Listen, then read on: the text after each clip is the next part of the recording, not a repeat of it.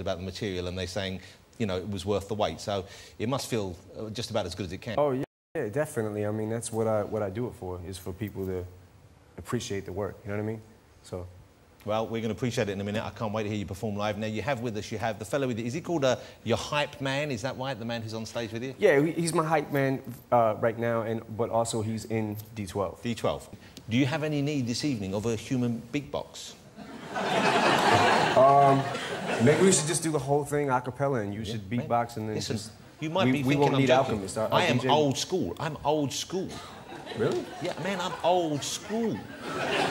I'm so old school, I don't even know what old school means.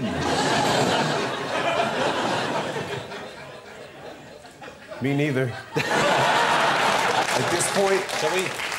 It's hard to bust a rhyme, to bust a rhyme, and keeping time, it's tricky. It's tricky, tricky, tricky, and I can do it. Wow. Amazing, amazing. That's, that's what I was waiting for. My album will be out next summer. Uh, you're going to perform.